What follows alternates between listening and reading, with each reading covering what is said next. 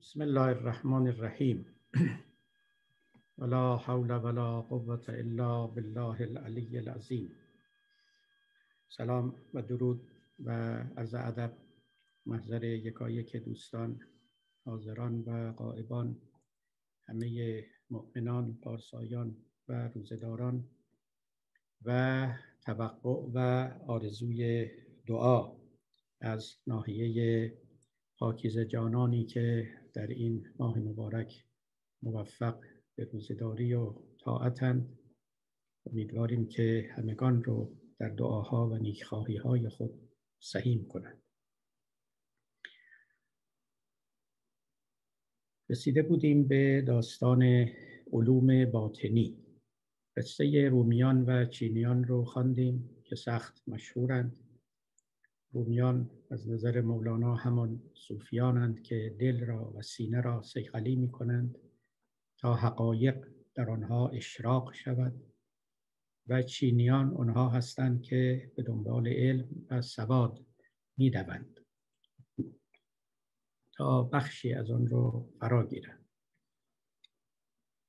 چینیان به دنبال علم می روند در حالی که علم به دنبال رومیان می آید اصل ماجرا اینجاست یکی با سیقلی کردن سینه و فروکا و کاستن زنگارها و از میان برداشتن رضائل و حجابها می نشیند تا خداوند دانشها رو که همون حقایقند در دل آنها بتاباند و دیگری خود به دنبال دانش روانه می شود.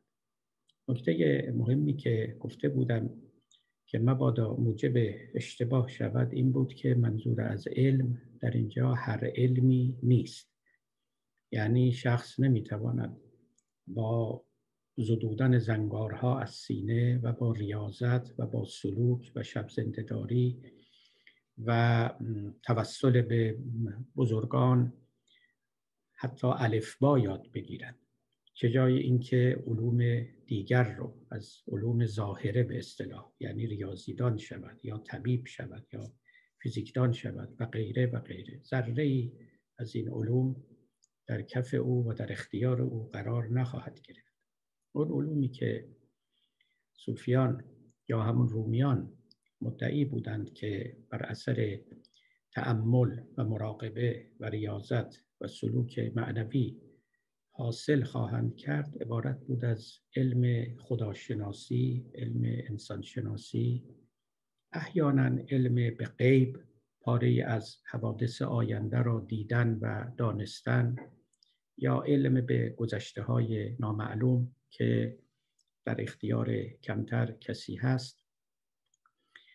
و علم به معانی و تفاسیر کتاب الهی یعنی دانستن اینکه مراد و مفاد فلان آیه کدام است بدون اینکه تحصیلی کرده باشند و پای درس تفسیری رفته باشند. اساسا در گذشته وقتی علم یا عالم می‌گفتند منصرف به همین معنا بود. یعنی کسانی را عالم میشمردند که علم کتاب دارند قرآن می‌دانند و یا فلسفه می‌دانند. یا علم دین دارند یا اگر در سطوح بالا باشه علم به زمائر دارند یعنی درون آدمیان رو و نیاتشون رو می‌خوانند یا علم به آینده دارند علم به بلایا و منایا دارند. یعنی می‌دانند که فلان کس کی میمیرد یا فلان بلا کی بر مردم نازل می شود کی زلزله می آید کی رعد و برق می شود کی باران کی خشکسالی و امثال اینها. آدمیانی رو که اهل علم باطن بودن واجد چنین توانایی ها و دانایی هایی می دانستن. اساسا علم به معنای جدید کلمه هنوز متولد نشده بود یعنی کسی اصلا در گمان نمی برد که مثلا فلان عارف خواص فلان فلزات رو مثلا می‌داند که در چند درجه ذوب می شود یا در چه حلالی حل می شود یا با چه فلز و شبه فلز دیگری ترکیب می شود اصلا چنین چیزهایی مطرح نبود. در هیچ خاطری خطور نمی کرد درست است که کلمه علم یعنی دانستن و می‌تواند بر هر دانستنی اطلاق شود.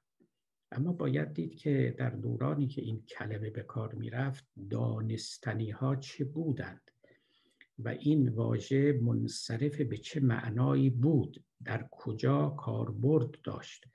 نباید پنداشت که همین که واژه علم به کار می رود منظور همه دانستنی هاست اصلا و ابدا. و این یک دامچاله است در راه پاره از تفسیر کنان تفسیر مفسران که گمان می‌کنن همین که یک واژه کلی است در همه دوران ها به همون کلیت می‌توان به کار برد و بر همه مصادیق متصور و نامتصور می‌توان اطلاق کرد. این چنین نیست. به همین سبب هم مثل عارفان نمی گفتند که بیایید و علم فلزات و زمینشناسی و غیره رو از ما بپرسید. ولی می‌گفتن اگر خداشناسی کامل می‌خواید بیاید پیش ما. اونی که فیلسوفان به شما میگن و متکلمان میگن اون یک خداشناسی مفهومی است و نواقص بسیار دارد. ما خدا را با تجربه یافته ایم. و همین سبب هم مولانا فرق می‌گذارد میان دانش و بینش چنان که قبلا آوردم. دانش همون است که مردم به درس می‌خوانند در مدرسه یاد می‌گیرند پیش استاد می‌روند یا با تجربه های متعارف روزانه اونها رو فرا می‌گیرند. اما رؤیت یا بینش از جنس دیگری است. اونها رو در مدرسه شما فرا نمی‌گیرید. مقدمه رو یادآوری کردم تا داستانی رو هم که امروز می‌خوانیم به درستی معناش رو دریابیم. در واقع مولانا یک مثال می‌زند از اون نوع علومی که قبلا خبر اون را و مجده اون را به ما داده بود. گفته بود که اهل سیقل رستند از بوی و رنگ هر دمی بینند خوبی بیدرنگ نقش و قلشر علم را بگذاشتند رایت عین الیقین افراشتند. اونها به عین الیقین رسیدن و بی کتاب و بی معید و اوستا بینی در دل علوم انبیا. علوم انبیا رو کسب کردن و اون هم بدون اینکه به خدمت معلمی و استادی رفته باشن یا کتابی رو مطالعه کرده باشن. حتی برای شما نقل کردم که از نظر بعضی از گذشتگان تصوف یعنی در سلک صوفیان رفتن منافات با دانش آموزی داشت.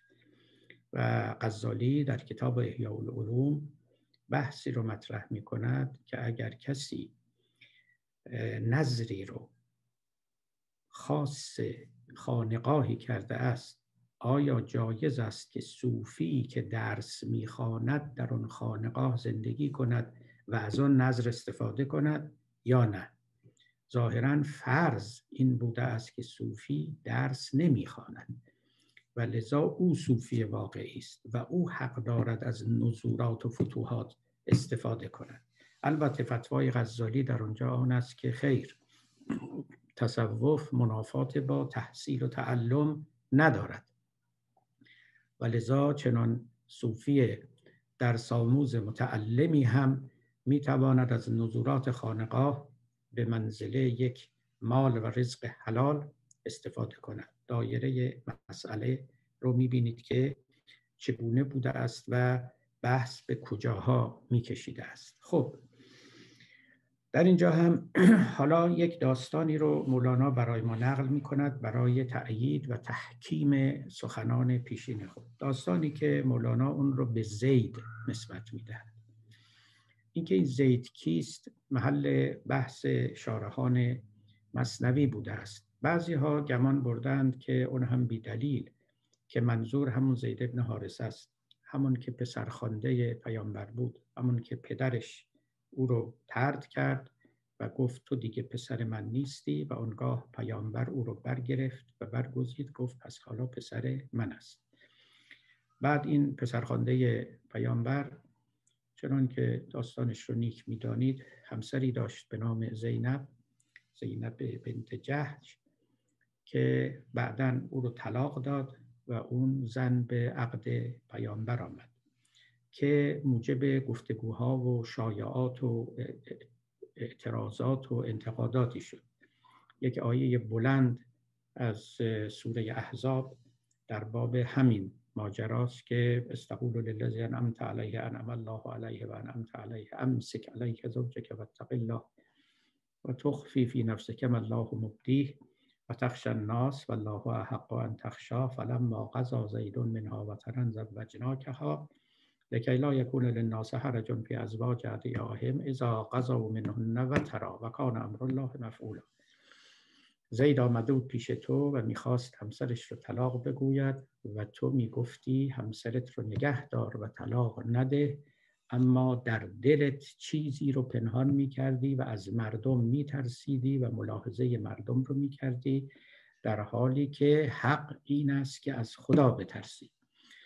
بعد که اون زید زن رو طلاق داد تو اون زن خداوند اون زن رو به همسری تو درآورد. فلما قضا زیدون منها و ترن زوجنا ها ما او را به تو تزویج کردیم تا مردم بدانند که همسر پسرخوانده در حکم عروس نیست. و لذا می‌تواند که بعدا همسر پدر پسرخوانده بشود. بعد از این آیه است چنان که می‌دانید خیلی به اختصار میگم چون ارتباط مستقیم با بحث ما نداره. بعد از این آیه است که گفته شده است که ما کان محمدون ابا احد من رجالکم ولکن رسول الله و خاتم النبیین. محمد فرزند پسری ندارد. چون میپنداشتند که چون پیامبر قبلا سه پسر داشت عبدالله و ابراهیم و قاسم که هر سه از دنیا رفته بودند. دو تایی از آنها که از آن خدیجه بود. علیه السلام و دیگری هم از ماریه قبطیه. همه اینها از میان رفتن و خب چهار دختر برای پیامبر باقی ماند که آنها هم آخرینشون فاطمه بود که پس از وفات پیامبر او هم از دنیا رفت. دو تا از اونها هم همسر عثمان بودند که هر دو از دنیا رفتن. باری پیامبر فرزند پسر نداشت و بعضی ها انتظار می بردن یا گمان می بردن که این پسرخوانده نهایتا پس از پیامبر به پیامبری خواهد رسید. این است که در اینجا قرآن می‌گوید که محمد پسر ندارد و خاتم النبیین است. یعنی به انتظار ننشینید که پس از او کسی بر مسند نبوت بنشیند. و سلسله نبوت منتهی و منقرض شده است. باری اینکه این زید زیدی باشد که در این داستان آمده مطلقا باطل است. هیچ شاهدی ما به این نداریم. یک احتمالی هست که اینجا ذهن مولانا و حافظه او لغزیده باشد. چون این زید زید ابن حارس است. همین زید پسرخوانده پیامبر. و اون کسی که این داستان مربوط به اوز حارس نامی است. شاید چنین خلطی در ذهن مولانا صورت گرفته باشد. علا ای حال من خودم تصور می کنم اساسا کلمه زید در اینجا اشاره به هیچ شخصی نیست. زید درست مثل اکس در ریاضیات که به معنای یک مقدار مجهول است. زید هم یعنی یک شخص مجهول somebody که نمی‌دونیم کیست ولی کسی بوده است و و در داستانها آمده است. البته اصل داستان هم اهل سنت نقل کرده اند و هم در کتاب کلینی. شیخ کلینی در اصول کافی آمده است از امام صادق علیه السلام. در تفسیر ابوالفتوح رازی هم آمده است در کتاب هلیت اولیای ابو نعیم اصفهانی هم آمده است. قصه است که متروک نبوده است ظاهرا مقبول فریقین بوده است و نکته ای هم در اون نیست که مخالفتی با سنت یا با آیات قرآن داشته باشد و از اون روایاتی است که مناسب و مطابق حال و مقال صوفیان بوده است و می‌بینید که این چنین مورد استفاده مولانا هم قرار گرفته است. قصه فوق العاده است. البته نقطه نظر من به این داستان چیز دیگری است یعنی از جانب خاصی است که برای شما خواهم گفت. اما مولانا هم برداشت بسیار نیکوی خود رو بلکه برداشته های نیکوی خود رو از این داستان داشته است. داستان این است که پیامبر علیه السلام روزی در مسجد کسی را که نامش حارسه بوده است می‌بینند و می‌بینند که پشمرده آشفته و فوق العاده خوابالوده خسته و زرد روست متوجه می‌شوند که لابد شب رو به بیداری به سر احوال او رو می‌پرسند که فلانی چطوری کیف اسبه و او زبان میگشاید و به پیامبر می‌گوید که آقا من به مقام یقین رسیدم و بعد که پیامبر از او می‌پرسند که نشانه یقینت چیست برای پیامبر می‌گوید. می‌گوید این مردم به آسمان که نگاه می‌کنن بعد آسمان رو می‌بینن ولی من عرشیان رو می‌بینم. عرش رو می‌بینم بهشتیان رو می‌بینم جهنمیان رو می‌بینم اصحاب شمال رو می‌بینم اصحاب یمین رو می‌بینم همچنان پیش می‌رفت و می‌گفت و می‌دانم که کدام سعیدن کدام شقیین سرنوشت ها تعیین شده همه در جای منتظر خود نشستند و متمکن شده پیش می‌رفت که به قول مولانا پیامبر لب گزیدش مصطفی یعنی که بس. پیامبر لب گزید اشاره به اینکه خاموش کن و تو هم لب را ببند و بیش از این مگو. در عبارت روایت هست که عصب تفلزن یعنی درست فهمیدی به جای درستی رسیده ای ملتزم باش. ولی اشاره ای نیست که ختم کن و خاموش شو. اما به نظر همین میاد که به هر حال بنا نبوده است که او ادامه بدهد همه چیز رو بگوید و شاید سرنوشت یکایک اطرافیان و صحابیان پیامبر رو هم بازگوید. بلکه به تعبیر مولانا گفت هین درکش انان مستور به هر کس از پندار خود مسرور به. این قولی است که مولانا به پیامبر نسبت می‌دهد که به زید گفت که درکش انان یعنی مهار این مرکب رو بکش و بیست و نتاز.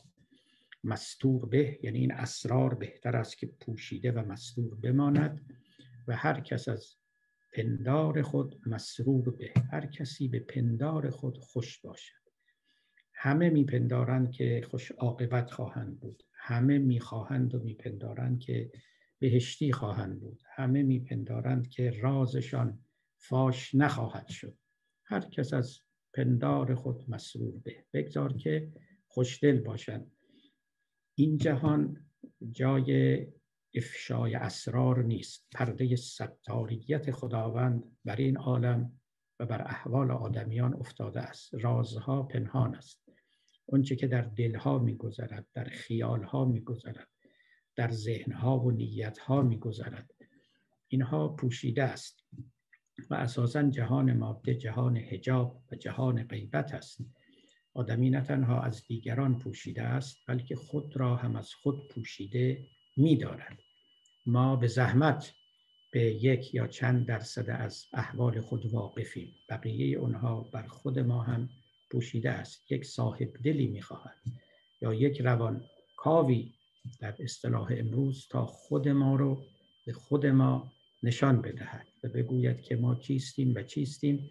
پاره های اندکی از آنها در خوابها بر ما آشکار می شود که چه جانورانی در وجود ما حضور دارند یا چه فرشتگانی در جان ما حضور دارند. بر حسب اینکه آدمی پاک باشد یا ناپاک. علا ای حال اما روز قیامت دیگه روز طبل سرائر است. یعنی روزی است که اسرار فاش می شود پرده ها بالا زده می شود و اونجا تجلی ستاریت الهی که در این عالم است پایان میپذیرد و خداوند به صفت مزیع به صفت رازگشا در اونجا آشکار می شود و تجلی می کند و همه چیز پیدا می شود خب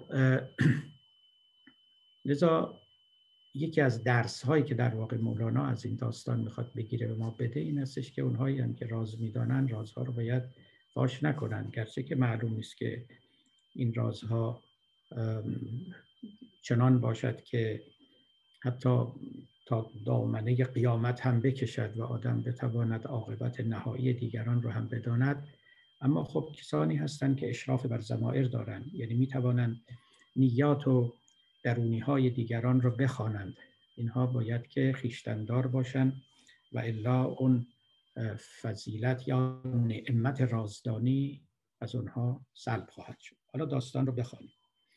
پرسیدن پیغامبر صلی الله علیه و سلم مر زید را که امروز چونی و چون برخواستی جواب داد و جواب گفتن او که اسبحت و مؤمنن یا رسول الله. مؤمنن آمده موقنن هم آمده. در اینجا خب مؤمنن هست. پرسید که چگونه ای گفت مؤمن برخواستم؟ گفت پیغمبر سباهی زید را کیف اسبحت ای رفیق با صفا گفت عبدا مؤمنا. باز اوش گفت کو نشان از باغ ایمان. گر شکفت. گفت یک گلی یه میوه از اون باغ نشان بده. خب بله دیگه نشان دیگه سوی شهر از باغ شاخی آورند. باغ و بستان را کجا آنجا برند؟ گلی گلدسته ای رو نشان بده که بدانیم که به اون گلزار رسیده ای توضیح داد جناب زید و این توضیح ها عجیب است. وقتی که از زبان مولانا میشنویم مولانا اون رو خوب ورز داده پرورش داده و به عمق معنا رفته. حتی می‌توانم بگویم تجربه های خودش رو هم در این نهاده است. برای اینکه پاره از این سخنان رو که اینجا مولانا می‌گوید مثل بسیاری های دیگر آنی نیست که در اون روایت آمده طابق نعل به نعل مولانا هم افسوده. از زبان زید گفت تشنه بودم من روزها شب نخفتستم ز عشق و سوزها تاز روز و شب گذر کردم چنان که ز اسپر بگذرد نوک سنان که از آن سو جمله ملت یکی است صد هزاران سال و یک ساعت یکی است هست ازل را و ابد را اتحاد عقل را ره نیست آن سو افتقاد. گفت آقا من ریاضت ها کشیدم رنج ها بردم شب زندهداری ها کردم شب نخفتستم ز درد و سوزه ها رنج ها بردم طلب داشتم تشنه بودم و به سوی ایمان و یقین کشیده می شدم می رفتم و می خواستم تا به عین الیقین برسم. اینجا ایمان این مرد زید همون ایقان است یعنی به یقین رسیدن. پس از اینکه این راه رو طی کردم از زمان جدا شدم ببینید این این سخنی نیست که زید گفته باشه. شاید اینجا حالا من عین عبارت اون روایت رو براتون بخوانم. این سخن زید نیست. زید فقط گفت که ریاضت ها کشیدم. شب زندهداری ها کردم ولی مولانا داره تفسیر می‌کنه ریاضت او رو و اینکه تجربه حاصله برای او چه بوده است. می‌گوید از زمان بریدم از زمان جدا شدم. ز روز و شب گذر کردم چنان که ز اسپر بگذرد نوک سنان. سپرها رو از چرمهای خیلی ستبر و قلیز می ساختن اما اون نوک نیزه کاملا نفوذ می کرد و می‌رفت به اون طرف سنان به اون طرف سپر که همونطور که این گردون رو یا این سقف گردون رو در نظر بگیرید و فرض کنید مثل یک سپری است بعد این مثل یک پیکان یک نیزه از این سقف گردون عبور کرده است. سقف گردون رو سقفی بدانید که هم نهایت مکان است هم نهایت زمان است. همطور که گذشتگان میپنداشتند. فراتر رفتن و بیرون رفتن و گذر کردن از این سقف بیرون رفتن از مکان است و از زمان. گفت من آقا از زمان عبور کردم بیرون رفتم ز روز و شب گذر کردم چنان که ز اسپر بگذرد نوک سنان. بعد گفت که از آن سو جمله ملت یکیست. صد هزاران سال و یک ساعت یکیست. دقیقا بی زمانی و لازمانی رو داره توضیح میده. میگه آقا اون طرف صد هزار سال با یک ساعت یکیست. معنی بیرون زمان یا ازل و ابد که همون بیرون زمانه این نیست که زمان نامتناهی است. کسانی فکر می‌کنن که ازل یعنی آغاز زمان. ابد یعنی آقا انتهای زمان. نه. ازل و ابد یعنی ماورای زمان. زمان بی نهایت ما نداریم. خداوند که ازلی و ابدی است یعنی ماورای زمان است بیرون زمان است. نه اینکه یه عمری به درازنای ابد دارد. این تفسیر و تصویر باطلی است. جناب زید مثل بسیاری از صوفیان که این تجربه رو داشتن به مرتبه لازمان نقل کرده بود. رفته بود به اونجا. گفت پس از این ریاضت ها از روز و شب بیرون آمدم. روز و شب کنایه از زمان است. سوراخ کردم این سپر زمان رو و به بیرون رفتم. یک آینشتاینی رو می‌خواد که اینجا حالا بیاد و به ما بگوید که این سوراخ کردن سپر زمان به چه معناست و آیا می‌توان بیرون رفت یا نمی‌توان رفت. یا یک کانت رو ما اینجا لازم داریم که به ما بگوید چنین چیزی شدنی است یا شدنی نیست. خب می‌دونید در فلسفه کانت ادراکات ما در حیطه زمان و مکان واقع می شود هرچه که بیرون از حیطه زمان و مکان باشد اصلا مدرک واقع نمی شود یعنی عقل ما برای درک اون ساخته نشده است. اینها صور فاهمه هستند.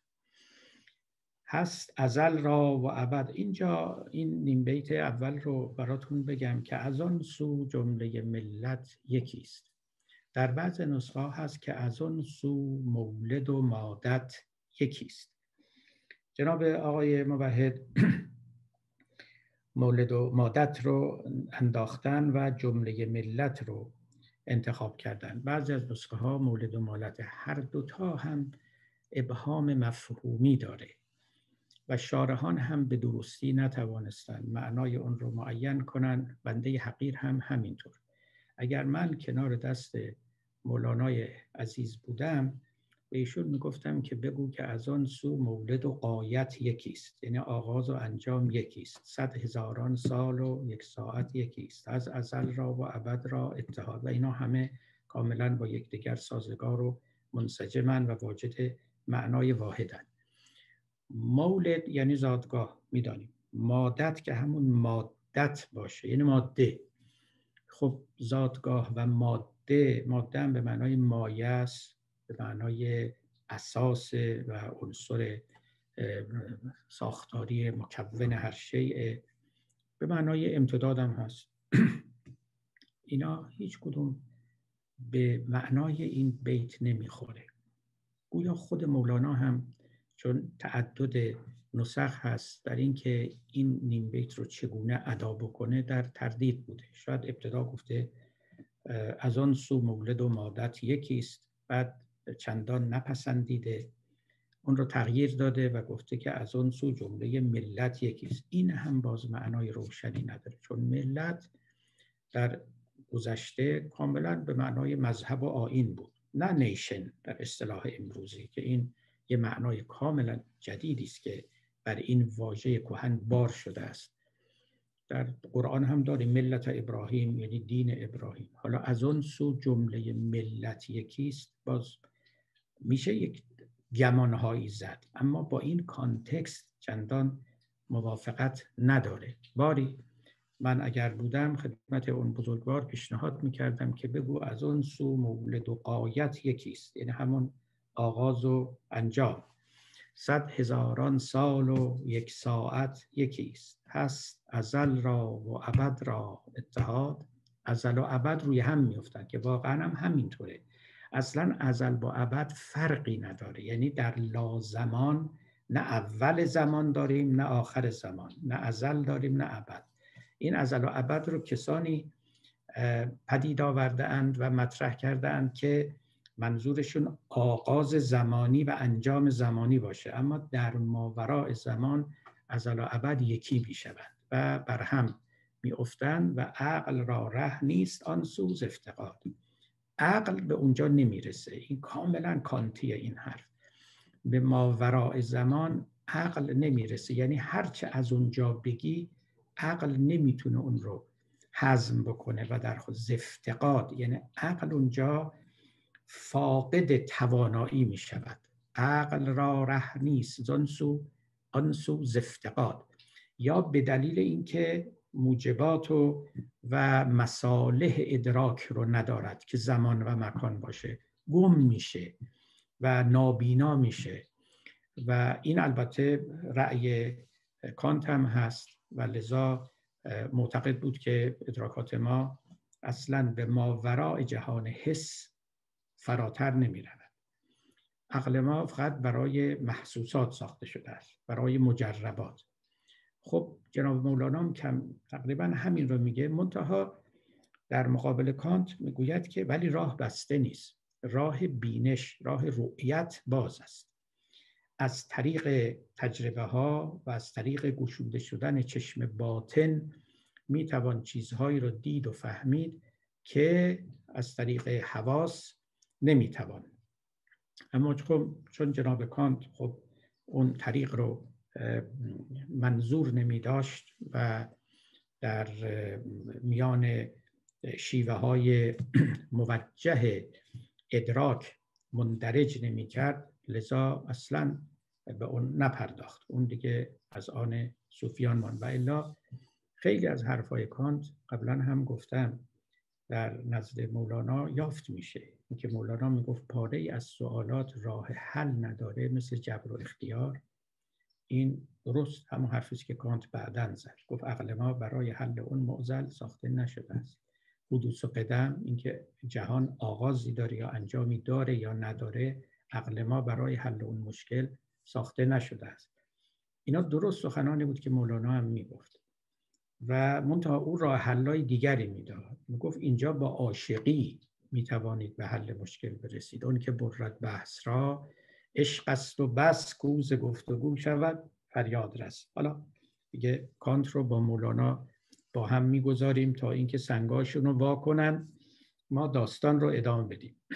گفت یعنی پیامبر گفت از این ره کو آوردی؟ بیار در خور فهم و عقول این دیار یعنی آدمیان خاکنشین گفت یعنی از اون ماوراء زمان برای ما نگو یه چیز محسوس بگو که ما هم بدونیم ماجرا چیست. در جواب گفت گفت خلقان چون ببینند آسمان من ببینم عرش را با عرشیان. هشت جنت هفت دوزخ پیش من هست پیدا همچو بت پیش شمن. یک به یک وا می شناسم خلق را. همچو گندم من ز جو در آسیا که بهشتی کیست و بیگانه کی است؟ پیش من پیدا چو مار و ماهی است. خب ابیات معناش روشنه. گفت من هشت بهشت رو می‌بینم. خب گفتن که بهشت هشت در داره. و لذا مولانا اینجا تعبیر به هشت بهشت کرده است.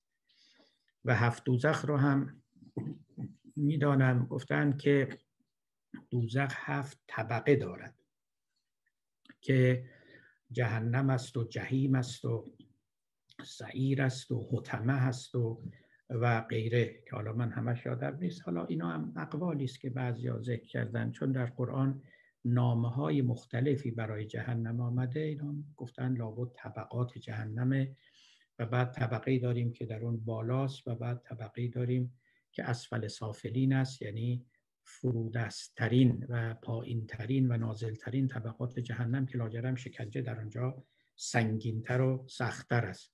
گفتن که طبقه دوم یا سوم مال یهودیانه طبقه چهارم مال مسیحیانه و غیره و غیره.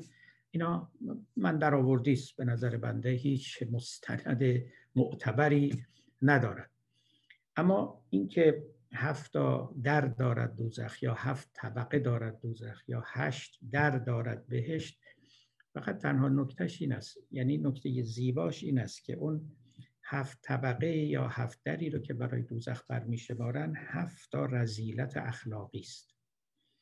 اون هشت, هشتا دری هم که برای بهشت برمیشمارن هشت فضیلت اخلاقی است. این بهترین تفسیر و تعبیر است.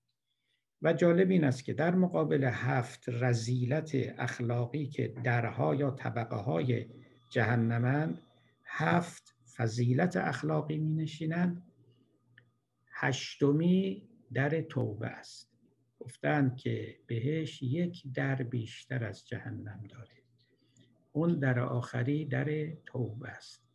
که اگر کسی حتی به اون فضائل آراسته نباشد چون در توبه باز است دست کم می‌تواند اون رضائل را از خود بزداید. بسیار سخن امید بخش و دلارامی است یعنی آرامش به دل میبخشه.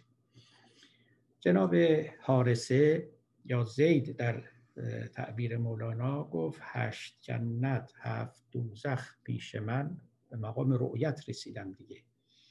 هست پیدا همجو بت پیش شمن. بت شمن یعنی بت پرست. روحانی بت پرست. روحانی هندوان رو شمن یا شامان میگن. شامانیزم هم شنیدید حتما.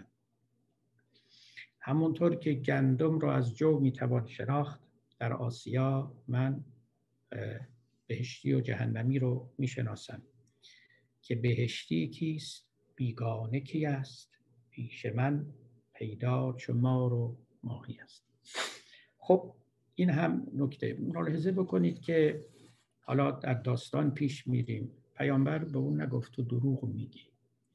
پیامبر به اون نگفت این چیزها فقط برای من و امثال من است که پیامبریم. اصلا و ابدا. بلکه در واقع تصدیق کرد این آدم فقط گفت رازگشایی نکن. فوق العاده است این مطلب. یعنی در حقیقت پیامبر آمده بود همین در رو به روی امتش بگشاید. بارها گفتیم که من تجربه ها دارم شما هم بیایید و از این تجربه ها داشته باشید برخوردار بشوید. من معراج رفتم شما هم بیایید به دنبال من به معراج برید. اصلا پیامبر دو در رو باز کرد به روی پیروان خودش. یکی در ایمان و تجربه های معنوی و معراج رفتن یکی هم در دلاوری و جنگجویی و کشورگشایی.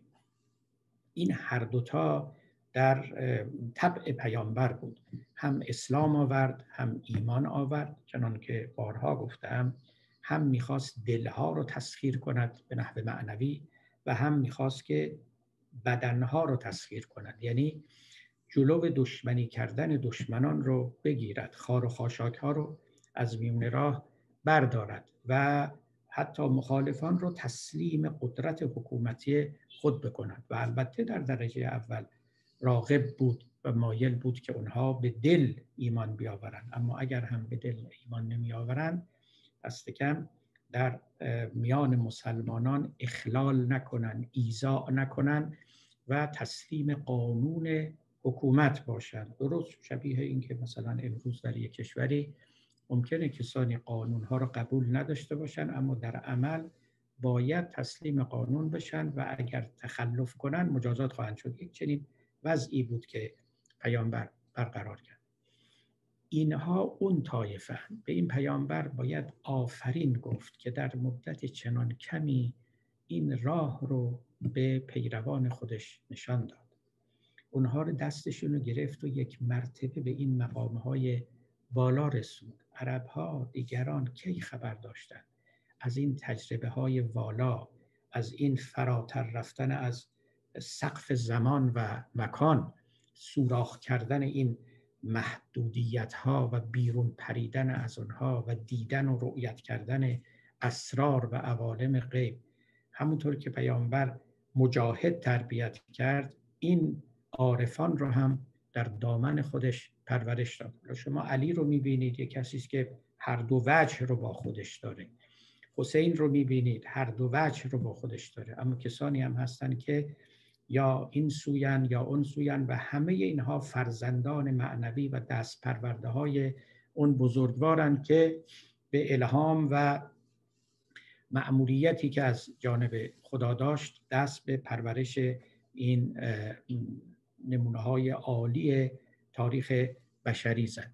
در زمان خودش پیامبر باید بسیار شادمان شده باشه که کسی رو می‌بیند که با همین دستورات و آدابی که پیامبر آورده است یعنی همین که نمازی بخوانند تهجدی بورزن شب زندهداری کنند سهرخیزی داشته باشند روزه بگیرند انفاق بکنند صدقات بدهند مجاهده بکنن اهل گذشت باشن اهل رسیدگی به دیگری باشن با همینها توانسته این نردبان سلوک رو چنان به سرعت بپیماید که به معراج برسد. پیامبر وقتی که لابد لاجرم این چنین از شرح حال این رو میشنید از فرط بشاشت چهرهش میشه گفت و در دل آفرین می‌گفت و در دل شکر خدا رو مینهاد که چنین نوع آموختگانی دارد چنین پروردگانی دارد. حالا خبر یکیشون به ما رسیده. در نهج البلاغه هست که امیرالمؤمنین می‌گوید که کجان اصحاب پیامبر؟ ایشون خبر میده که تعداد زیادی از اینها بودن کجان اصحاب پیامبر که روزا که اونها رو می‌دیدی؟ زبل و شفاه من الدعا. لبهاشون از بس دعا خونده بودن خشک شده بود. اوصاف دیگری هم برای اینها مرحل عیون من از سهر چشماشون گود نشسته بود. چند تا از این صفت ها براشون ایشون برمیشون پس لاجرم عبادی بودن این چنین. زهاد این چنینی بودن که به تربیت اون پیشوای توانسته بودن این راه رو بپیمایند و به این درجات برسن و حالا ما علی رو بیشتر می‌شناسیم ولی دیگران هم بودن. یکی همین جناب حارسه که الان وصفشون رو در اینجا می‌خوانیم. من به این تعدیب نبوی و به این شیوه شاگرد پروری او خیلی می اندیشم که چگونه این روح بزرگ خودش رو در اینها به ودیعت نهاد. و مثل یک مغناطیس پر جاذبه اینها رو به دور به دنبال خودش کشاند و دستشون رو گرفت و بالا برد.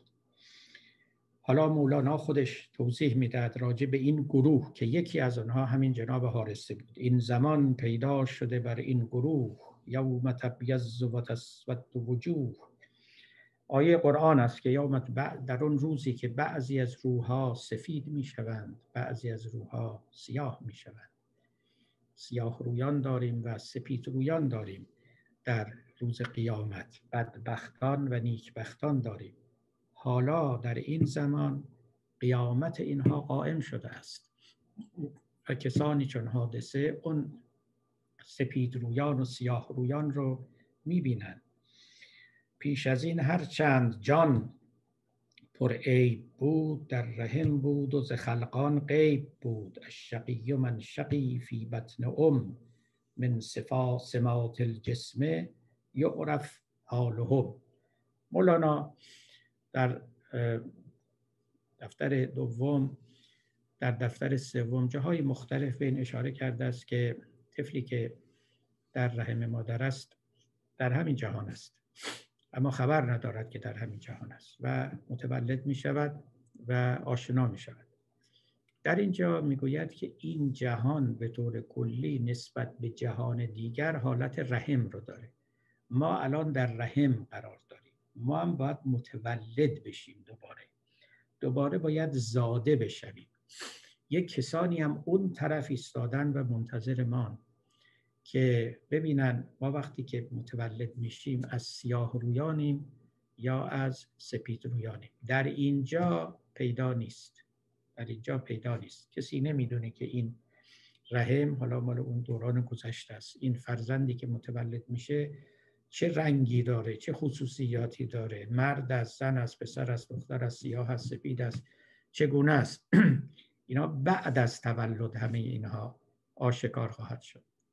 مولانا می‌گوید ماجرا همینطور است. ما هم در این جهان پوشیده است که جزو تیر بختانیم یا نیک بختانیم کسانی هستیم که سیاه رو خواهیم شد یا سپید رو خواهیم شد سعید خواهیم بود یا شقی خواهیم بود.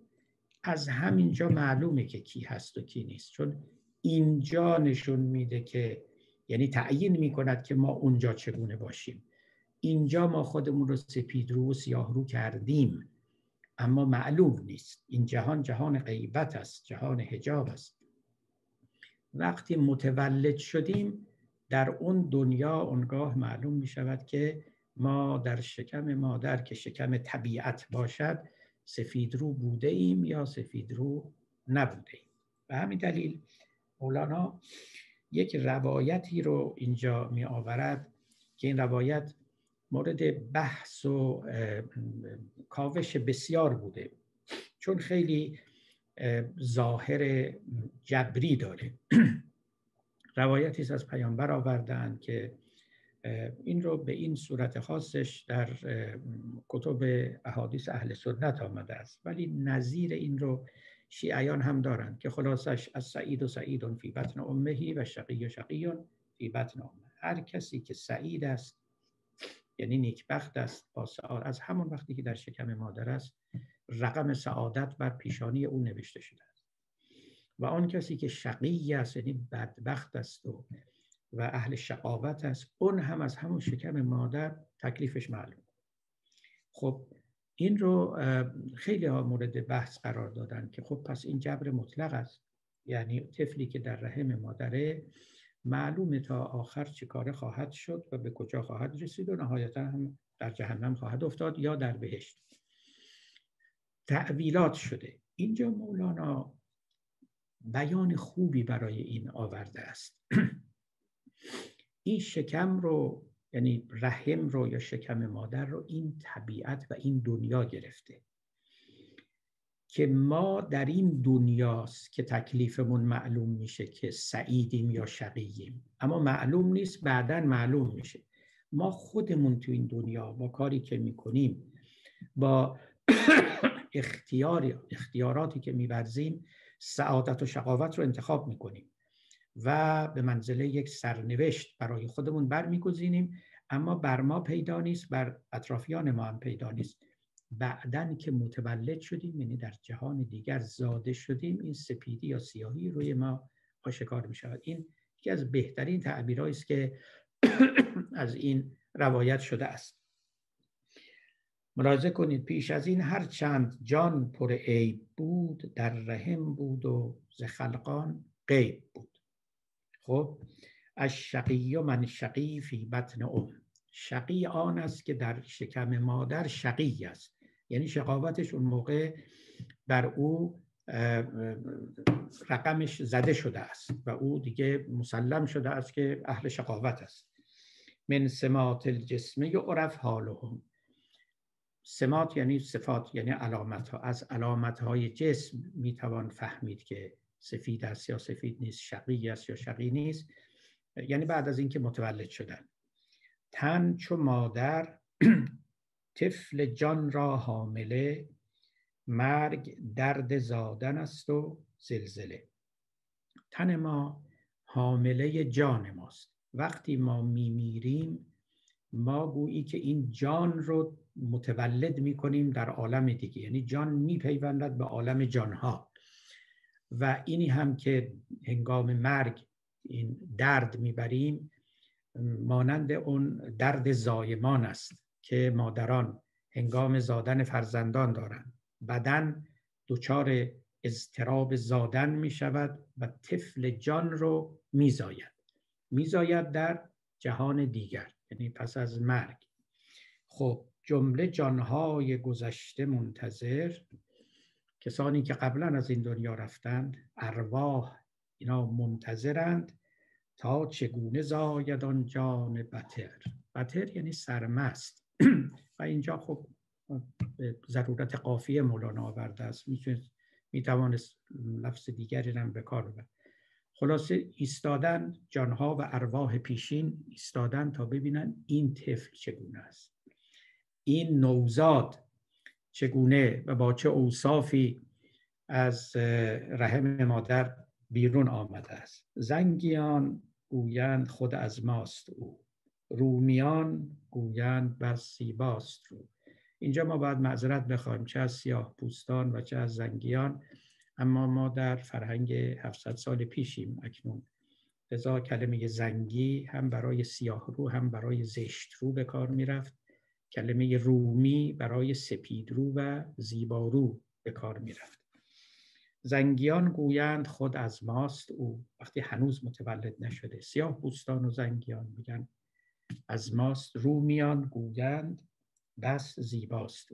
از اون طرف میگن نه این مال ماست و به ما خواهد پیوست.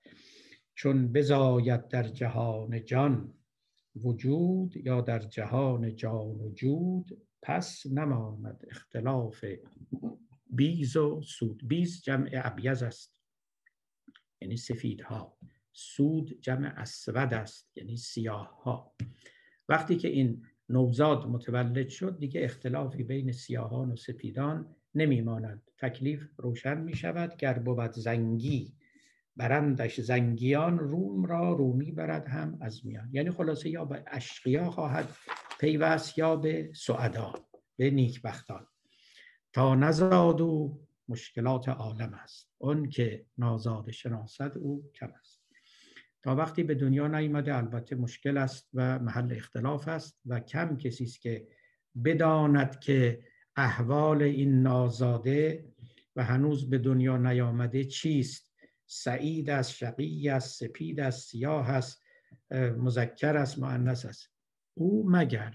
بله فقط یک عده قلیلی که ینظر به نور الله یعنی با نور الهی نظر می‌کنند چشم خدایی دارند روایتی است باز از پیغمبر که فرمودن اتقوا من فراست المؤمن فانه ینظر به نور الله.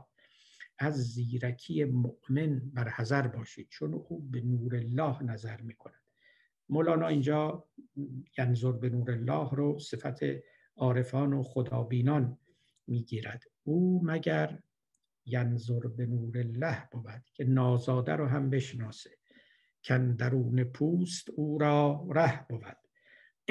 اصل آب نطفه اسپید است و خش. لیک عکس جان رومی و حبش می‌دهد. رنگ احسن و تقویم را تا به اسفل می‌برد. این نیم را. خب این بیت آخر که خواندم پیداست که اقتباسی است و برداشت برداشتی است از سوره تین. و تین و زیتون و تور سینین و هذا البلد الامین لقد خلقنا الانسان فی احسن تقویم ثم رددناه اسفل سافلین فما یکذب که بعد بالدین علیس الله و احکم الحاکم سوره 95 قرآن با همین شش آیه. قسم ها می‌خورد خداوند به تین و زیتون و بلد امین و تور سینین که درباره این قسم ها سخنان فراوان و مختلف و متفاوت گفته شده است. به اونها کاری نداریم. و جواب قسم این است. خب سوگن به اینها که چی؟ یک بیان یک حقیقت است. ما آدمی رو در احسن تقویم یعنی بهترین ترکیب بهترین شاکله بهترین صورت آفریدیم. بهتر از این نمی‌شد. خلاصه. بعد ولی ولی ثم رددناه اسفل سافلین. بعد خود ما او رو رها کردیم تا برود به اسفل سافلین به پسترین مقامات. او رو در بالاترین و بهترین مدارج و مرتبه ها آفریدیم و جا دادیم. اونگاه او رو رها کردیم. ول کردیم سقوط کند به پایین ترین و پسترین مراتب. پاره از مفسرین جدید یعنی کسانی که از جنس مستشرقانند. این آیات رو تفسیر مسیحیوار کردن یعنی دلیل بر گناه نخستین.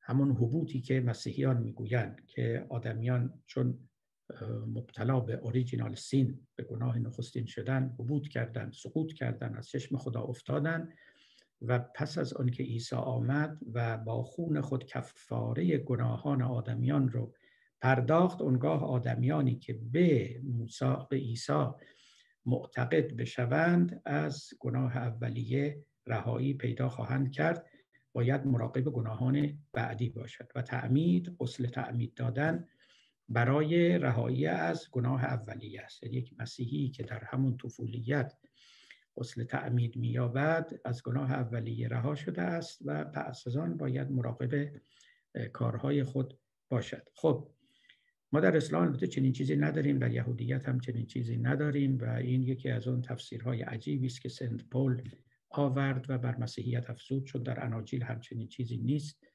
و به هر حال الان یکی از ارکان بسیار مهم اندیشه مسیحی است. آیا این آیات قرآن دلالت بر این دارد؟ ما آدمی رو در بهترین ترکیب آفریدیم بعد او رو رها کردیم که سقوط کند. ثم رددناه اسفل سافلین. این ممکن است ظاهرا به این آیات بخورد و انتباق اجمالی داشته باشد. ولی وقتی که با بقیه آیات قرآن و ارکان جهانبینی اسلام میسنجیم و کنار آنها می‌گذاریم کمترین احتمالی برای چنین تفسیری چنین گمانی باقی نمیماند. پس این رو کنار می‌ذاریم. همان تفسیرهایی که مفسرین مسلمان کرده اند. دو تا تفسیر کردند یکی اینکه ما آدمی رو در بهترین صورت آفریدیم ولی او رو گذاشتیم که با زمان که پیش میره رفته رفته از دست میده. تواناییش رو داناییش رو حافظش رو جوانیش رو زیباییش رو میره تا اون پایین ترین پایین ها شبیه اون آیه دیگر قرآن که من نعمرهن نکس فی الخلق. کسانی که عمر زیاد پیدا می‌کنن واژگون می‌شوند. یعنی تمام هنرها دانشها زیبایی ها داشته هاشون بسیار دستشون گرفته میشه و یه موجود توهی دستی می‌شوند. از بالا به پایین ساقط می‌شوند. شعر خاقانی هست که میگه که خاقانی را مپرس که ایام از رنج چگونه می‌گذارد. جو جو ستد آنچه دادش ایام خرمن خرمن همی سپارد. میگه از من نپرس در حال پیری که حالت چطوری. چیزهایی که روزگار به من جو جو داد با خصت به من داد و من اندک اندک تحصیل کردم اکنون خرمن خرمن باید از دست بدم هر روز که برمیخیزم احساس می‌کنم از روز پیشین ناتوانترم. یه عده این رو اینجوری معنا کردن که ما او رو در بهترین ترکیب آفریدیم اما وا نهادیم. یعنی او رو به دست قوانین طبیعت دادیم به اصطلاح امروز. به دست گذر زمان دادیم تا زمان او رو فرسوده کند. و زمان فرساینده است. همه چیز رو فرسوده می‌کنه. همه چیز رو پیر می‌کنه. لذا از اون بالا ما رو به پایین پرتاب می‌کنه. این یک معناست. یک معنایی هم که بعضی از عارفان و حکیم صفتانی شبیه مرحوم سبزواری. اینکه آدمی روح آدمی را آفریدن ولی او رو به زمین فرستادن. لذا اون در احسن تقویم یعنی روحی با بهترین ترکیب. همون که الهمها فجورها و تقواها. همه چیز رو به او دادن. بعد به عالم طبیعت که چاه خلقت است و اسفل سافلین است. پایین ترین مراتب آفرینش است. آدمی رو فرستادن. اینم یک معنا و یه معنای دیگه این که آدمی رو در بهترین خلقت آفریدن به او همه امکانات رو دادن ولی او بر اثر نافرمانی خود بر اثر کجروی خود به اسفل سافلین می رود یعنی در واقع تکه دوم یا آیه بعدی که می‌گوید ردد ناه و اسفل سافلین این فعل رو گرچه ظاهرا به خدا نسبت می‌دهد که ما او رو به سوی اسفل سافلین فرستادیم این زبان قرآن است که همه افعال رو به خدا نسبت میده. نه ما او را آفریدیم بعد او خودش به اسفل سافلین سقوط کرد. به سبب کجروی ها و ناروایی های که انجام داد. خب حالا اینجا این توضیح قرآنی بود. مولانا می‌گوید که اصل آب نطفه اسپید است و خوش. لیک عکس جان رومی و هبش میگه ظاهر نطفه یک آب سفید است. ولی در باطن این نطفه رومی و هبش یعنی سفید و سیاه جا دارن. گرچه که در نطفه نمی نماین اما وقتی که نطفه به عمل اومد یعنی رفت در رحم و پراسس شد و مراحل و مراتبی رو گذراند اون موقع یا از توشون احسن و تقویم میاد بیرون یا اسفل سافلین میاد بیرون. اینجا مولوی یک چنین استفاده از آیه قرآن کرده. اصل نطفه آب اسپید است و خش.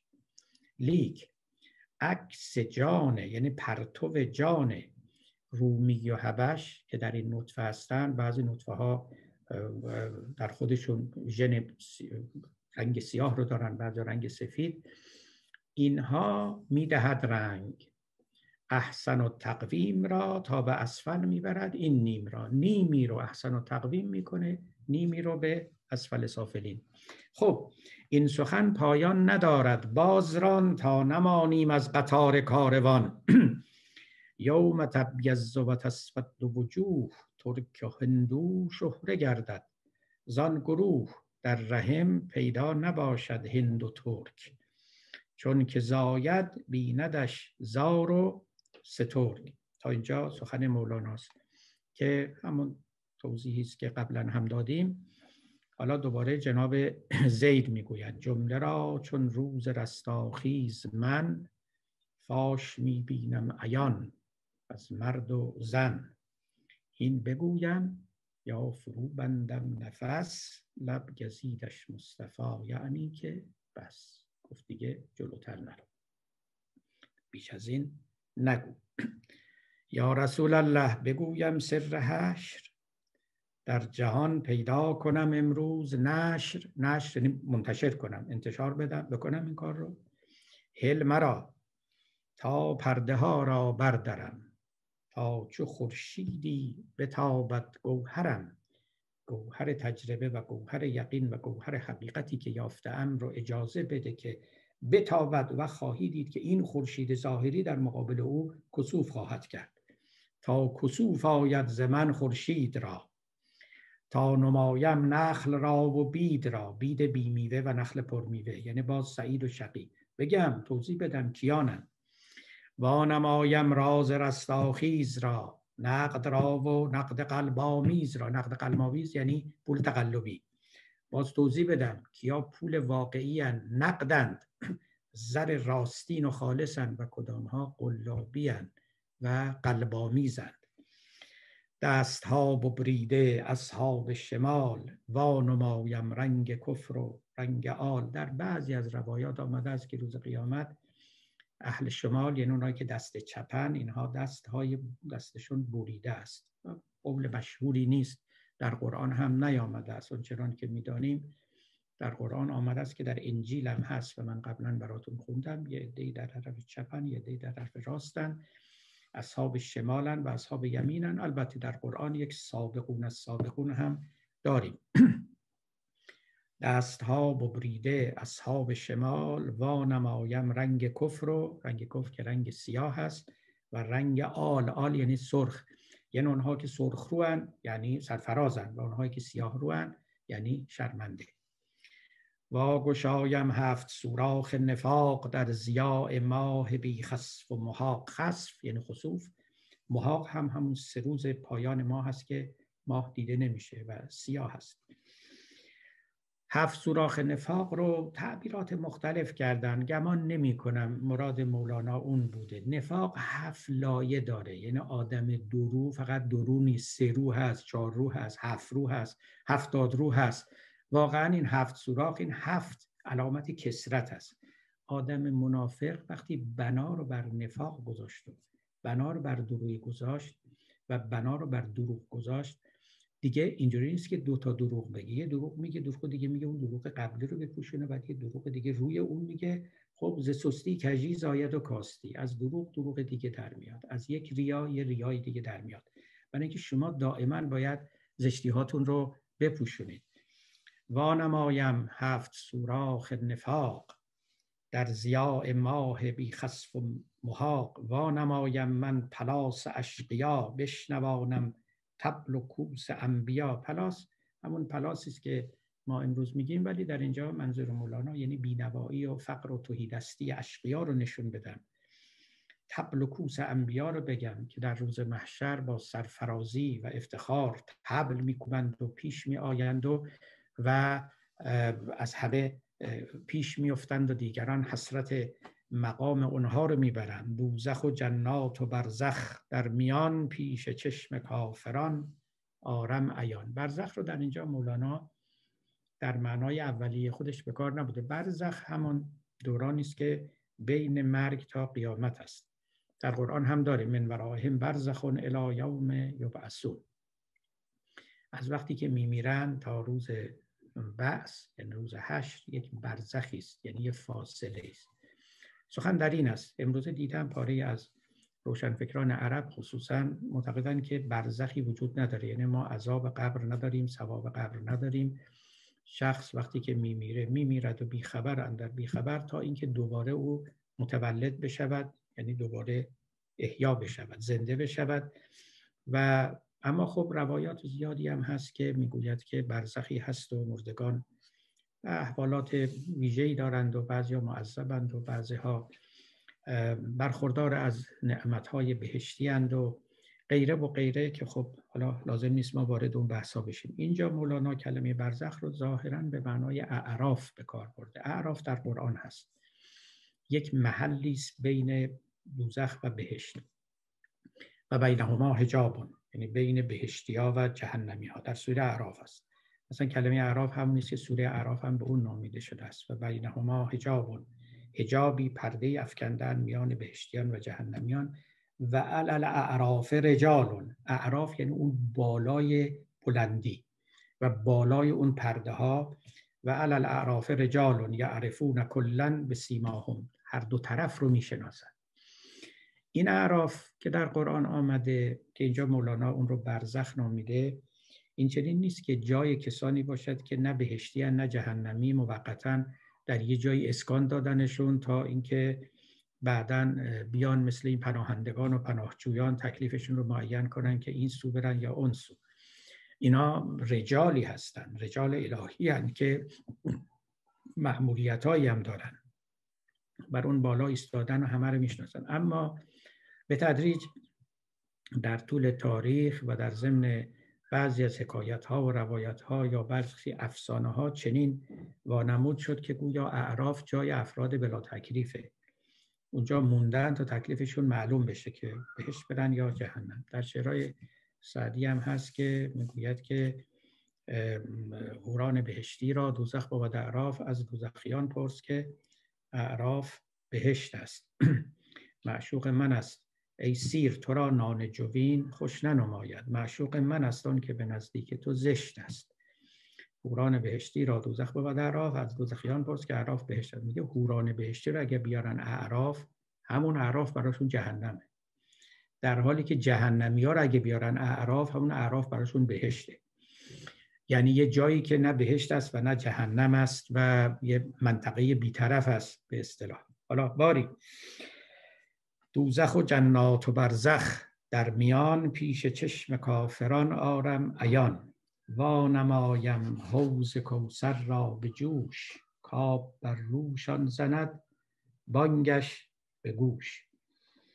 من می‌توانم حتی حوز کوسر رو بنا نشان بدیم. اون که در قرآن کلمه کوسر آمده خیلی ها گفتند که منظور حوز کوسر نیست ولی حوز کوسر در روایات آمده است و اینکه پیامبر روز قیامت بر سر اون حوز می نشینند و یاران خودشون رو و مؤمنان رو آب گوارایی می نوشانند از خود پیامبر هم نقل شده است که در اون روز خیلی از اصحاب من به طرف این حوز میان و میآیند که از دست من جامی بگیرند و آب گوارایی بنوشند اما کسانی یا فرشتگانی اینها رو پس می‌برند و از میان اون صفوف بیرون می‌کشند و نمی‌گذارند که به طرف من بیان. و بعد من می‌گویم یعنی پیامبر اصیحابی اصیحابی اینها اصحاب اینها صحابیان و پیروان عزیز من بودن. کجا میبرنیشون بعد اونها به من میگن که انک لا تعلم ما احدث بعدک. تو نمی‌دونی اینا بعد از تو چه کردن؟ یعنی اینگونه دلت برای اونها نسوزه. بعضیاشون خیلی خطاکار بودن خیلی گناهکار بودن خیلی جنایت کردن. اونا الان لیاقت ندارن که از دست تو آب گوارای کوسر بنوشن. به حال این حدوثه هم اهل سنت و همشیه هست که یک چشمه هست به نام چشمه کوسر که پیامبر اونجا ساقی است و ساقیگری می کند به اصحابش و پس از نوشیدن این آب گوارا و زلال وارد بهشت میشن. ها نمایم حوز کوسر را به جوش. کاب بر روشان زند بانگش به گوش. خیلی عجیبه در اینجا. میگه من چنون این حوز کوسر رو می‌تونم مجسم کنم نشون بدم اینا ببینن که از طرفی صدای این آب میاد از طرفی هم گویی که آب به صورتشون می‌خوره خنکشون می‌کنه. وان کسان که تشنه بر گردش دوان گشته اند این دم نمایم من عیان. اون کسانی هم که میان و تشنه بر میگردن دور این حوز میگردن همونی که در اون روایت پیامبر است که کسانی اونها رو بر میگردونن و اجازه نمیدن که به من نزدیک بشن. و من می‌گویم اسیحابی اسیحابی اسیحاب تصغیر اصحاب است. اصحاب پیغمبر در اینجا در این روایت نمیگه اصحابی اصحابی. میگه اسیحابی اسیحاب مثل اینکه شما به طفل میگین طفلک. اون کاف تصغیره اما کاف تصغیر برای تخفیف نیست برای تحقیر نیست. کاف رحمت است. به قول مولانا کاف رحمت گفتمش تصغیر نیست. جد چو گوید طفلکم تحقیر نیست. اونجا هم پیامبر اصحاب رو اسیحاب می‌خونه. یعنی از فرط شفقتی که داره. ولی به او جواب می‌دهند که انک لا تعلم ما احدثوا بعدک. نمی‌دونی اینا بعد از تو چه کارها کردن. باری مولانا اشاره داره به همون. میگه اون کسان که تشنه بر گردش دوان گشتند این دم نمایم من عیان. می بساید دوششان بر دوش من. نعره هاشان می‌رسد در گوش من. تجربه چقدر حسی شده چقدر عیدی و ملموس شده که اصلا میگه دوش به همین. اهل جن می بساید اهل جنت پیش چشمم ز اختیار در کشیده یکدیگر را در کنار دست هم دیگر زیارت می کنند. از لبان هم بوسه غارت می کنند. بوسه غارت کردن از تعبیرات خیلی زیبای مولاناست. بوسه می رو بایند از هم. اهل جنت رو می بینم که چجوری همدیگر رو در آغوش گرفتن. می بوسن همدیگر. گر شد از این گوشم زبانگ آه کر شد این گوشم زبانگ آه آه. از خسان و نعره و حسرتا. از یک طرف اون از یک طرف نعره و حسرتا میشنوم. آه جهنمیان رو میشنوم. نعره معذبان رو میشنوم. کر شد گوشم. هم این رو هم اون رو هم می‌بینم هم میشنوم. گفتن و دیدن به هم آمیختم. این اشارت هاست. گویم از نغول لیک می ترسم ز آزار رسول. نغول یعنی جرفا نغول به معنای چاله جرف هم هست. می‌گوید که اینها فقط یه اشارتی است من دارم. دلم می‌خواد نغول یعنی برم تا اعماقش. اونها رو هم بگم.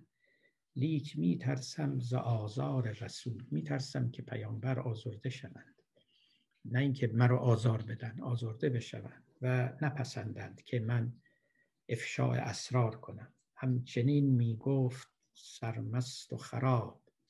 داد پیغمبر گریبانش به تاب. گریبانش رو تاب داد. درست مثل که بگیم گوشش رو مالید. گفت هین درکش که اسبت گرم شد. عکس حق لا یستهی زد شرم شد. آینه تو جست بیرون از غلاف آینه و میزان کجا گوید خلاف؟ پیامبر گوشش رو مالید گریبانش رو گرفت. گفت اسبت گرم شد. یعنی داری گاز میدی. شدید و سریع داری میری. عکس حق لا یستهی زد پرتو حق نور حق. اون که خدا می‌گوید خدا حیا نمی کند که چنین بگوید چنان بگوید پروا نمی کند مثل اینکه اون بیپروایی خدا هم به تو منتقل شده. شرم شد یعنی شرم از تو برخواست رفت. تو نه نباید این کارو بکنی. چون در قرآن هست ان الله لا یستحی ان یضرب مثلا ما بعوزه و ما فوقها. یا در موارد دیگری که مثلا در مورد اینایی که می‌رفتن پیش پیامبر و زیاد تو خونه پیامبر می نشستن در سوره حجرات هست که یه عده میان و اینجا پیش پیامبر زیادی می نشینن پیامبر حیا می‌کنه که به اینها بگه بلنشید برید. توی خونهشن خب. اما خب ناراحت هم هست. بعد اونجا خداوند میگه خدا ولی حیا نمی‌کنه. یعنی پروا نداره. از شما بندگانش خجالت نمیشه داره به شما میگه بلنشید برید. اونجا که نشستید مراعات حال میزبان و صاحب خانه رو هم بکنید. اگر او با شما این چنین خوشرویی می‌کنه شما سوء استفاده نکنید. شاه با تو گر نشیند بر زمین خیشتن بشناس و نیکوتر نشی اونجاست که لا یستحی میگه قرآن. یعنی خدا رو درواسی نداره به اصطلاح. پیامبر به زید یا به حارسم همینو گفتن. گفتن مثل اینکه موقتا اون پرتو بیپروایی حق بر تو هم تافته است. گفت هین درکش که اسبت گرم شد. عکس حق لا یستهی زد. شرم شد.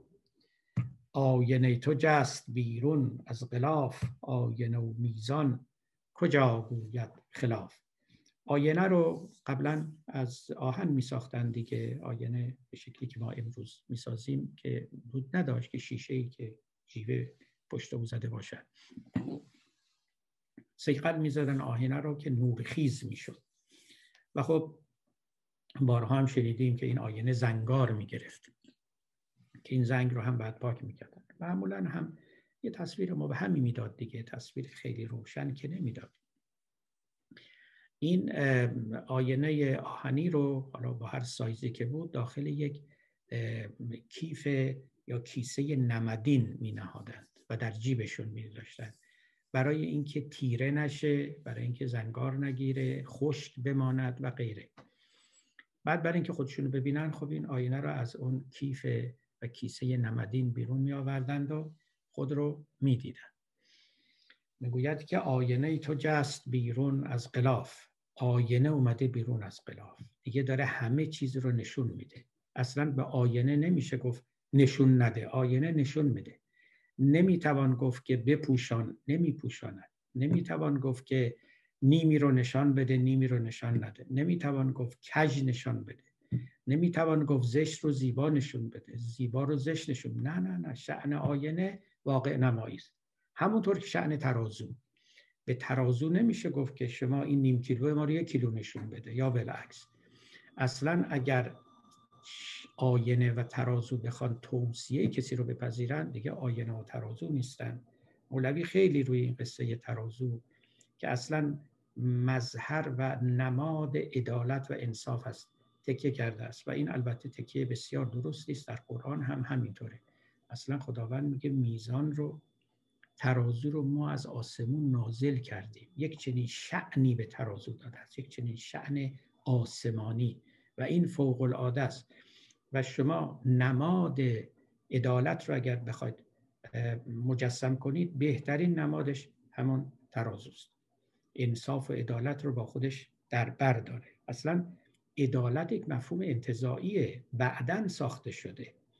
اونی که در عمل در طبیعت و در ماده وجود داشته همین همین ترازوست که از او وقت شما می‌تونید مفهوم برابری و انصاف و عدالت رو بیرون بکشید و انتزاع کنید و تجرید ببخشید و به صورت یک مفهوم کلی درآورید. آینه تو جست پیامبر به گفت آینت از غلاف بیرون اومده.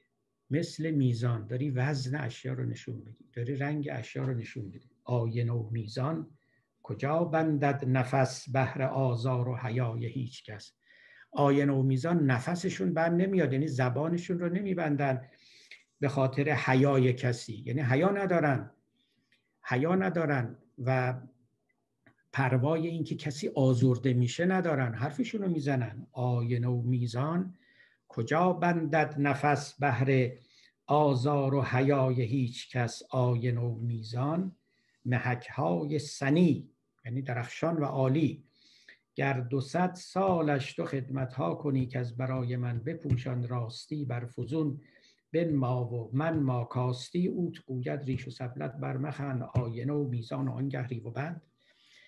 دو صد سال دیویس سال خدمت آینه کنی و خدمت میزان و ترازو بکنی بگی که تو رو به خدا به خاطر من تو بیا یه چیز کمی رو زیاد نشون بده یه چیز زیادی رو کم نشون بده. دیویس سال خدمت کنی رشوه بدی. که از برای من بپوشان راستی. به خاطر من راستی رو کنار بگذار. بر فزون بنما و من ما کاستی. اگه چیزی کمه وزنش کمه تو اونو افزون نشون بده. اونا به ریش و سبیل تو میخندن. اوت گوید ریش و سبلت بر مخن میگن برو به ریش خودت نخند. خودت رو ریشخند نکن. آینه و میزان و آنگه ریو و بند. ریو یعنی مکر. با آینه و میزان تو سخن از مکر و بند و اینا میگی. این دوتا مگه با هم جمع میشه؟ چون خدا ما را برای آن فراخت که به ما بتوان حقیقت را شناخت. این نباشد ما چه ارزیم ای جوان؟ کی شویم آینه روی نیکوان لیک درکش در بغل آینه را که از تجلی کرد سینا سینه خدا ما رو اصلا آورده تو این دنیا. برای اینکه حقیقت رو بگیم و اگه این نباشه اصلا ما چه ارزشی داریم؟ ما دیگه چه کاره ایم؟ کار ما همین است. این نباشد ما چه ارزیم ای جوان؟ کی ما این روی نیکوان. اون وقت نیکورویان زیبارویان دیگه کی در ما نگاه می‌کنن؟ چون دیگه به ما اعتماد ندارن. ولی یه کار می‌تونیم بکنیم. آینه نمی‌تونه غیر راستی بگه. ترازو نمی‌تواند غیر راستی رو بگه ولی تو یه کار می‌تونی بکنی. آینه رو مخفی کن. دوباره بگذار در همون نمد و در قلاف و دوباره در جیب خودت بگذار. یعنی زبانت رو ببند و رازها رو فاش مکن تا نگویی. سر سلطان را به کس تا نریزی قند را پیش مگس. ما چو واقف گشته ایم از چون و چند قفل بر لبهای ما بنهاده تا نگردد رازهای غیب فاش تا نگردد منهدم نظم معاش تا ندرد پرده غفلت تمام تا نجوشد دیگ مهنت نیم خام. عارفان که از جام حق نوشیدند رازها دانسته و پوشیدند گفت هین درکش انان مستور به هر کس از پندار خود مسرور به. خب به قول مولانا این سخن پایان ندارد.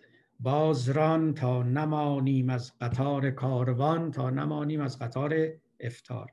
به همین سبب نیکوست که همینجا سخن رو به پایان ببریم. داستان دنباله های عالی دارد که ایشالله خواهیم خواند و از دست مولانا جرعه های ناب مستی آور بیشتری خواهیم گرفت. السلام علیکم.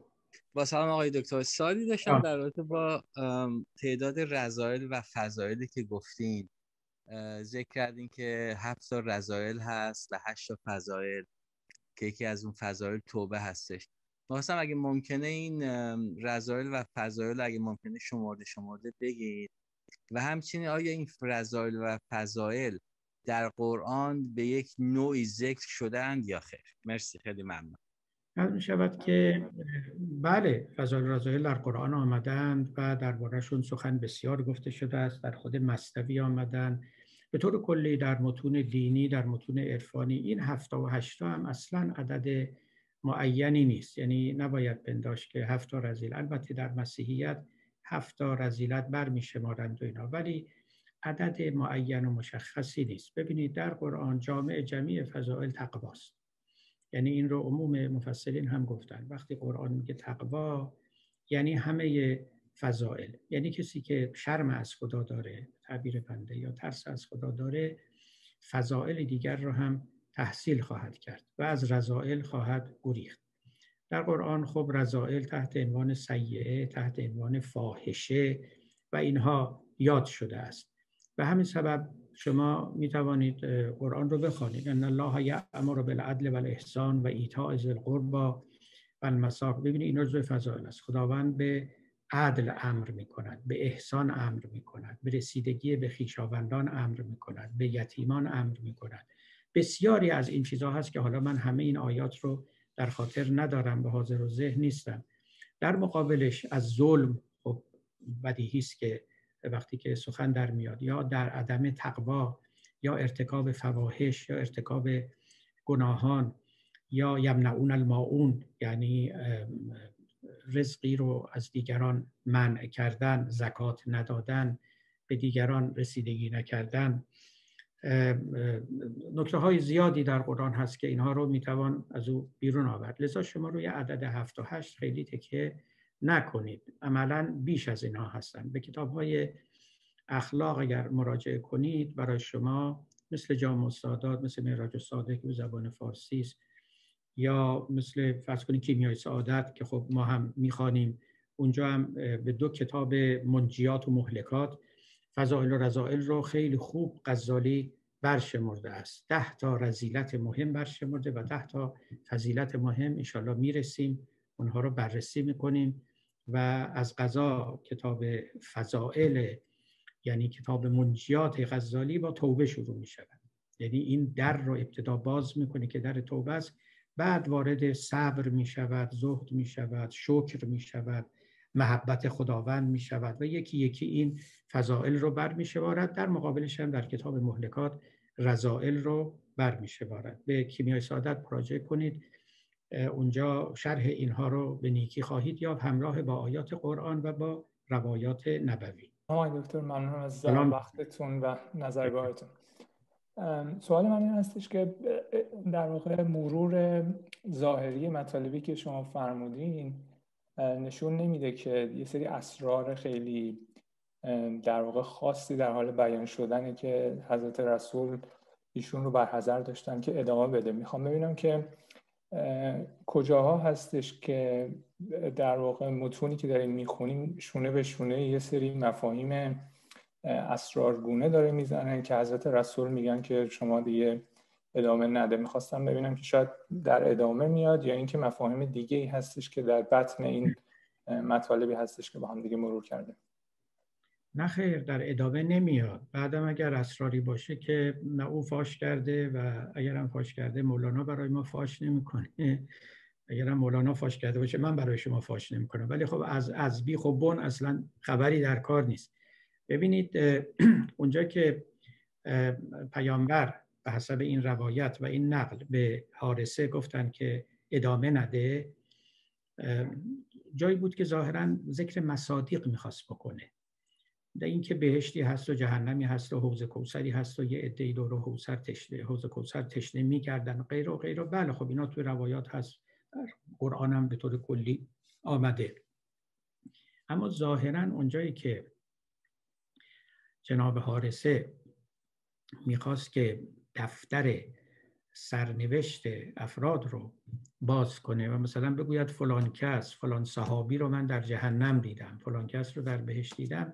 اینجا بود که پیامبر به اون نهیب زد و گفت که درکش انان مستور به. این رازها باید مستور بمانه چون هر کس از پندار خود مسرور به. هر کسی باید با پندار خودش خوش باشه. این امید رو این خوشی رو از آنها مگیر و این خبر رو به آنها نده. جایز نیست. حالا که تو خبردار شدی دهان باز کنی و این خبر رو به دیگران برسان. این باید به صورت راز مجهول و مخفی باقی بمانه. از ظاهر این اون رازی که پیامبر او رو نه کرد و لذا او نگفت و ناگفته هم باقی مانده است تا امروز. و همون بهتر هم که ناگفته بماند. چه بسا روشن بینانی که امروز باشند در این عالم و احوال ما رو بدونن راز ما رو بدونن آینده ما رو بدونن اما معمولیت ندارند و بلکه نهی شدند از اینکه این خبرها رو فاش کنند سلام عرض می‌کنم آقای دکتر سروش و خیلی ممنون از دوستانی که این برنامه رو تدارک دیدن. در ابتدای سخن اشاره کردید به ببخشید این بگراند پسرم گذاشته این بگراندی که روی هست. سوراخ کردن سپر زمان. این رو چرا مطرح کرد و امکانش هستش که بیشتر بست بدید؟ این مطلب رو. خیلی متشکرم. حالا مولانا که این رو گزارشی است که از تجربه زید می‌گوید و بلکه گزارشی است که از تجربه خود و امثال خود می‌گوید. ببینید اصلا یکی از ارکان سلوک تصوف یعنی یکی از آیاتشون برون رفتن از زمان است. خب شما بارها از مولانا شنیدید که صوفی ابن الوقت باشد ای رفیق. نیست فردا گفتن از شرف طریق. تو مگر خود مرد صوفی نیستی؟ نقد را از نسی خیزد نیستی و بسی چیزهای دیگه. ابن الوقت یعنی ابن الحال. و ابن الحال حال نه یعنی در این حال زمانی. یعنی در یه حالی که وراء زمان است. چون شما تو زمان باشی حال وجود نداره. به همین که میگی حال یا به گذشته میپیونده و یا به آینده یا متعلق به آینده است که میاد و میگذره. لذا ما اصلا توقف در حال نداریم هیچ وقت. چون زمان در حرکت است یا کلا آدمی و طبیعت در حرکت است. بنابراین وقتی که میگن صوفی ابن الوقته و در حال زندگی می‌کنه یه معنای ساده داره که همین حرفایی که آقای اکارتوله و اینا می‌زنن که حرفای خوبی هم هست و من تخفیف نمی کنم ولی اون معنای صوفیانه دقیق کلمه نیست. یک معنا هم همین استش که اصلا وراء زمان میره. همین سپر زمان رو سوراخ می‌کنه و بیرون میره. در حال که تعبیر دیگرش این است که از تلوین تلوین یعنی رنگ رنگ شدن. از این رنگ به اون رنگ شدن. مولانا میگه جمله تلوین ها ز ساعت خواسته است. رست از تلوین که از ساعت برست. همه این رنگ به رنگ شدن و حالی به حالی شدن از ساعت یعنی از زمان برمیخیزد. ناشی از زمان است. هر کی که از زمان بیرون بره از تلوین هم بیرون یعنی یه حالی به حالی نمیشه. یک ثباتی به او دست می‌دهد. یک ثباتی فوق غم و شادی فوق خوف و رجا یک حالت دیگری. لذا بسیاری از احوال متغیری که برای دیگران حاصل می شود برای او حاصل نمی شود البته اون موقت است و تا مادامی که ما در زندان طبیعت زندگی می کنیم نمی توانیم بیرون بریم مگر اینکه با مرگ اصلا بجهیم از این دام. ولی اونا یک مرگ موقت هست که شخص حاصل می کند و ماورای زمان می رود و حال رو تجربه می کند و ابن الوقت و ابن الحال می شود معناش اینه و باز در جاهای دیگه مولانا بارها داره می‌گوید که این ماضی و مستقبلت پرده خدا هست هوشیاری زیاد مامزا ماضی و مستقبلت پرده خدا آتش در زن به هر دو تا به پر گره باشی از این دو همچو نی. تا گره با نی بود همراز نیست هم نشین اون لب و آواز نیست. اصلا ماضی و مستقبل پرده خداست. خدا در لازمان قرار داره. خدا رو وارد زمان نمیشه کرد. ما باید به لازمان بریم تا خدا رو رؤیت کنیم. مادامی که در عالم زمانیات هستیم فقط درک مفهومی از خدا خواهیم داشت. لذا میگه که آتش در زن به هر دو. تا به کی پر گره باشی از این دو همچونه تا گره با نی بود هم راز نیست هم نشین اون لب آواز نیست. مادامی که این نی گره داره صدا هم از او عبور نمی‌کنه. یعنی واقعی مادامی که تو در دامن و در دام طبیعتی صدای خدا به گوش تو نمی‌رسد.